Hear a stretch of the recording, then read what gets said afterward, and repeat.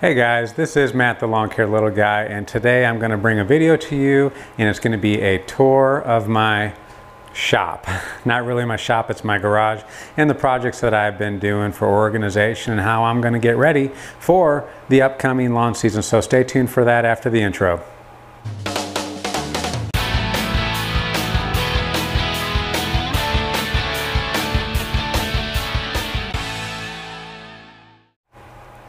Alrighty guys, I've been kind of busy in my home garage shop getting things organized for next year's lawn season because that's one of the things that we do when we're not actually going out there and making money. We're getting prepared to make money. You guys know what I'm talking about. It's kind of like, you know, the calm before the storm, except you get a little bit bored and you start finding things to do. Well, during the long season, you come in and, and, you're tired and just kind of throw your things around. I know how it is. Your workspace gets taken up. Next thing you know, you're overcrowded and things are breaking down and you just don't know what to do about it. It happens to me too, guys. So, what I started with was getting organized. Everything's got to have a place. And that was one of the things that I've never done. I've never, I've got my tools spread out everywhere and nothing ever had a place. So I decided to use my garage because it's the only space that I have uh, to store my equipment and everything and all my tools and all that. I decided to get it organized so that when the year comes around, I know exactly where to put everything and everything's very easy to, to find. Everything's very easy to put away.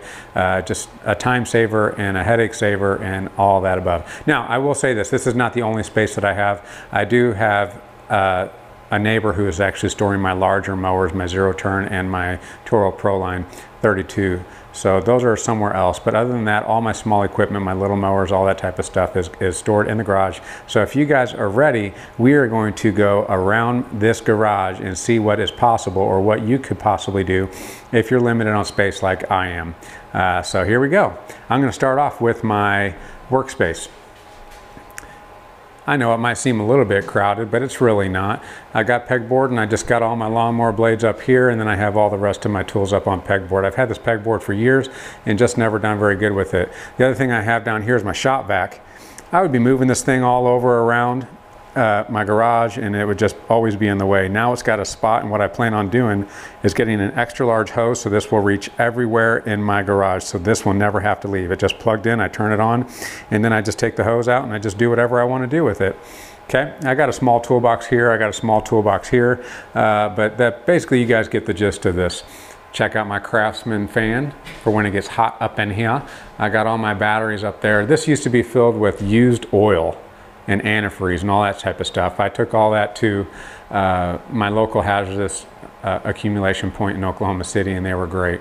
So anyways, uh, my bench grinder, uh, this is what I use to sharpen my blades, although now that Acme Bennett has that amazing sharpener, I might be going over there and seeing if I can't take advantage of some of that action over there. So anyways, guys, that's that. All right, nothing going on over here. This is nothing new. Uh, now later on, I've actually, I did get some mail, so you're gonna have to wait to find out who I got it from.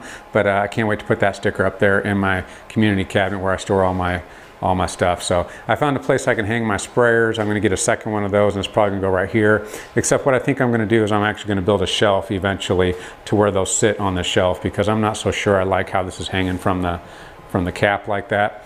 Uh, and that's pretty well that. Cabinet's just, believe that's not organized yet, so I'm not even gonna open that. And then over here, I got my weed eaters. They're hung up. I just strung a two by four across the studs.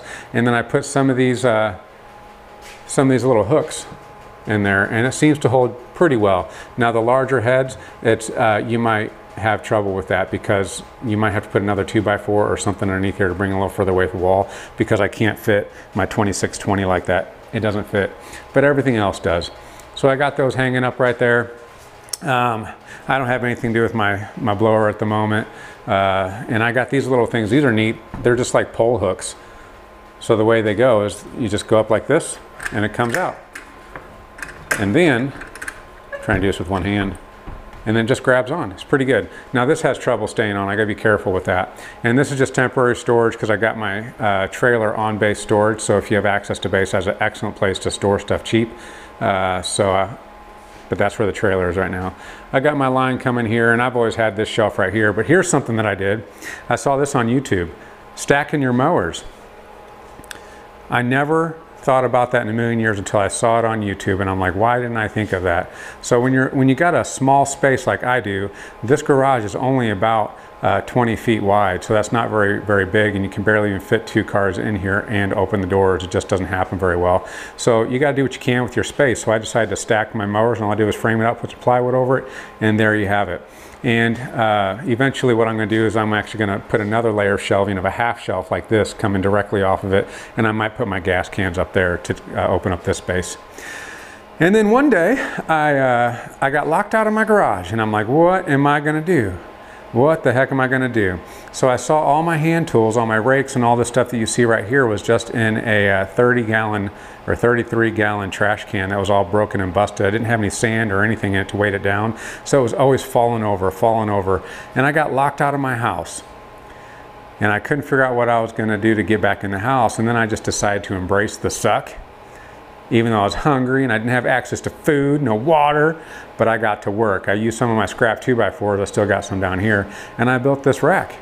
So now nothing falls over. It's not perfect, uh, but I just used a hole saw, punched holes in there and put it in there and just framed it out and put some legs and kind of crazy. So, uh, and I'm not a particularly handy guy. I learn as I go. And my neighbor came over while I was kind of piecing this together and he goes, what you doing?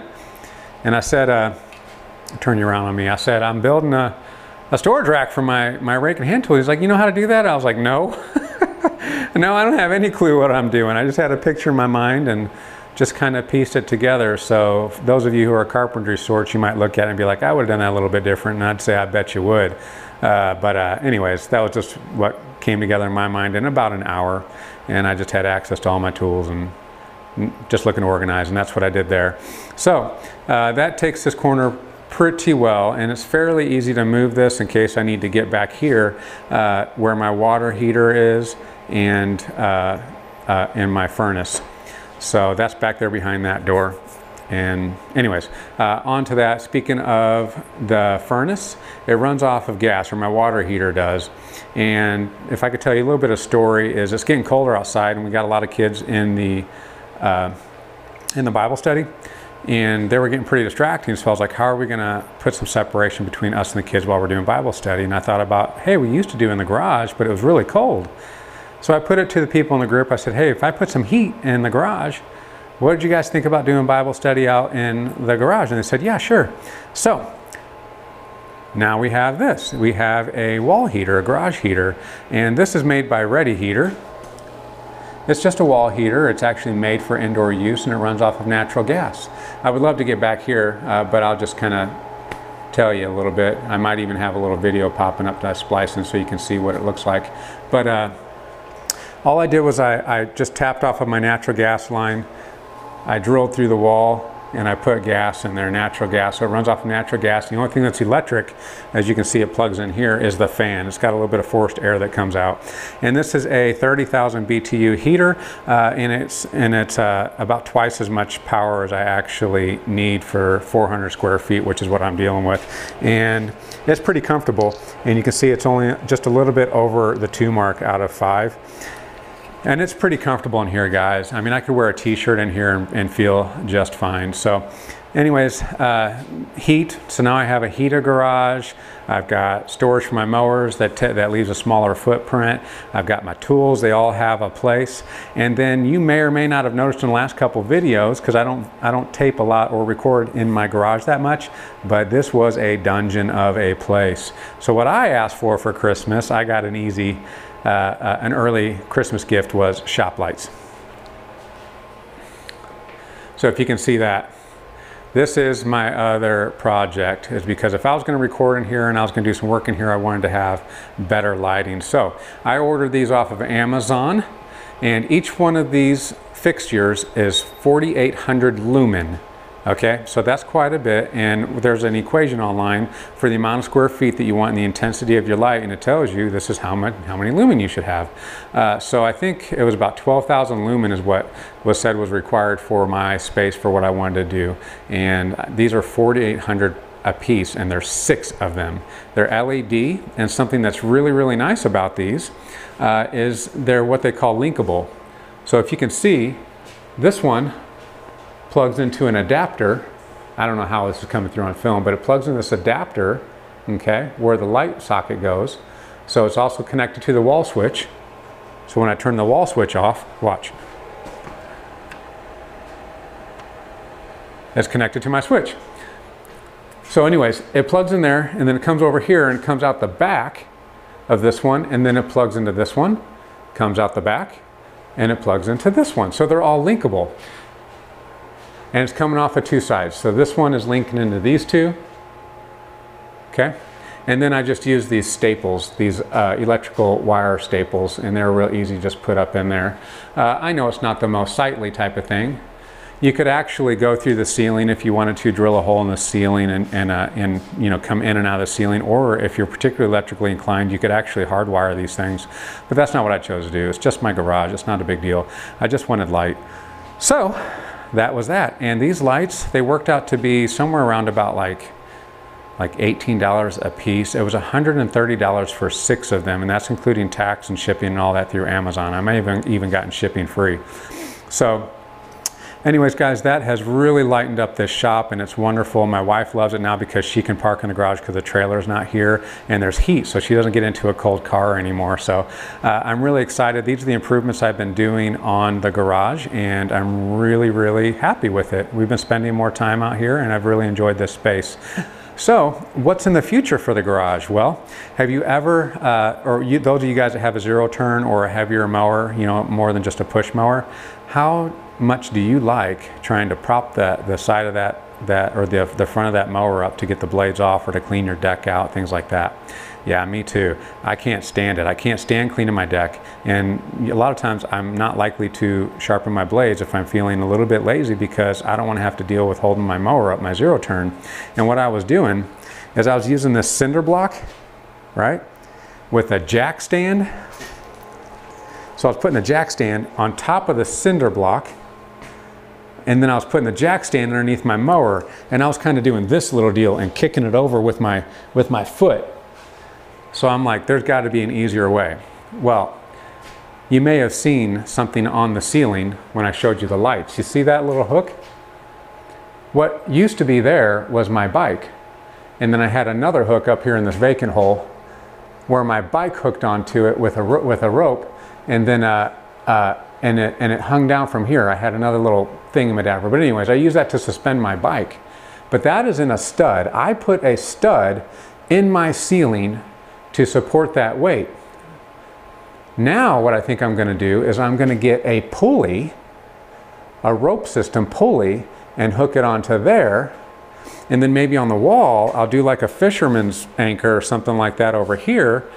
So then I can just run a hook down to maybe an eyelet on my imaginary mower right here, hook it on, pull the rope up, and anchor to the wall. So then it's suspended, it's just easy. It's kind of like a, like a poor man's lift. So that's probably going to be the next thing, or one of the next things on my list I'm going to do before that, because that way it'll make it so much easier for me to get underneath that deck and see what it is that I'm doing. The other thing that I want to do is, is related to the heat. My garage door is not insulated. This is really cold, or it can be really cold, but nonetheless, um, I'm losing a lot of my energy and uh, that heater is really efficient because it's natural gas, but I am losing that energy through my garage door. So for about $120, I believe, I can get a garage door insulation kit, and I'm gonna put that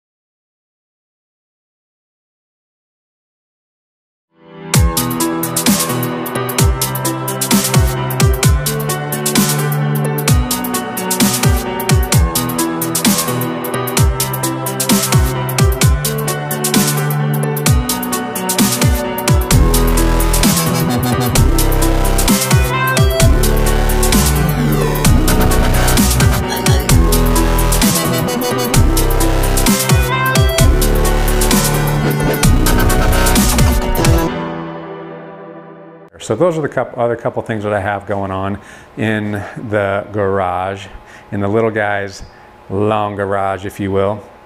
and that's what I've been doing with my time, guys. So, anyways, I hope you guys are finding ways to keep yourself busy. I encourage you guys to get organized before the beginning of the season next year, okay? So, maybe I'm thinking because some of my videos, actually everybody's videos, can tend to get a little boring when they're in the off season because they're just not doing that much. Everybody loves to see the sunshine and the birds chirping and mowing and the old grass grind, right? Sloans, if you're watching, I doubt you are.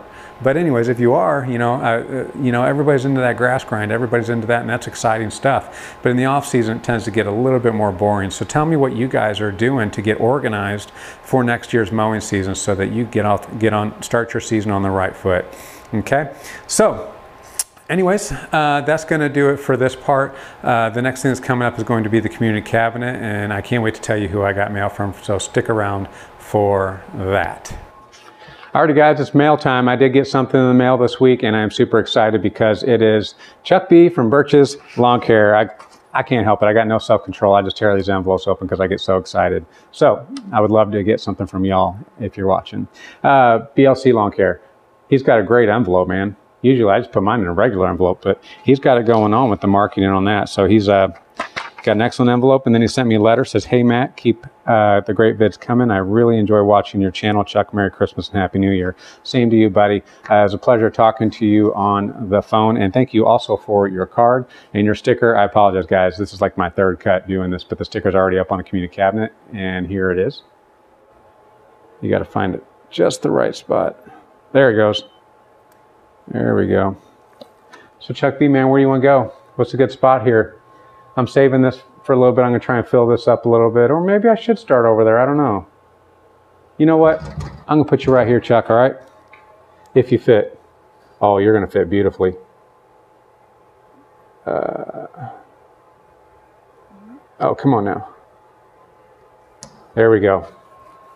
Birches Lawn Care. Amongst such notables as Acme would say is Acme Mowing, uh, Eclipse Lawn Care, Mark, Red Rock. You got Scott up in Canada. Go check out all these channels. Jay's Crazy Cuts, Wes's Lawn Mowing, Wyatt's Lawn Mowing Service, Caddo, uh, Mower Man down in Texas, Midlow, Turf, Front Hayden Riggins, Rob's Odd Jobs, Conway One Way, Quick Cuts, and Cedar Knoll. And here is his card, guys. So it's an excellent card, and on the back of it, it's got mowing, aerating, everything that he does, and particularly something I'm interested in is the sprinkler blowouts and the uh, organic applicator.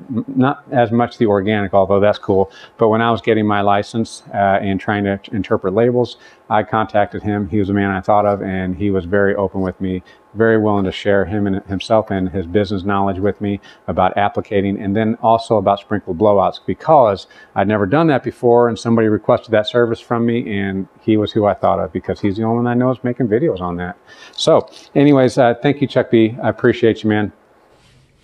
Thanks for watching. If you'd like to see more videos from me, go ahead and hit the subscribe button and tap the bell for notifications anytime I drop a new video. It should be every other Sunday by 2 p.m.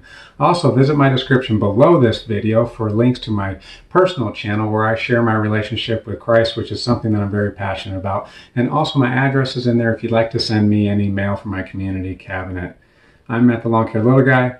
Pray for me. You know I'm praying for you. Peace.